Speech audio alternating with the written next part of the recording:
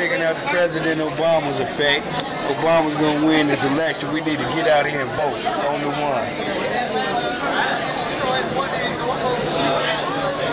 Hi everybody, go register to vote. On the one, Obama. website. I hope somebody get back with me. Somebody kids kids gonna see that.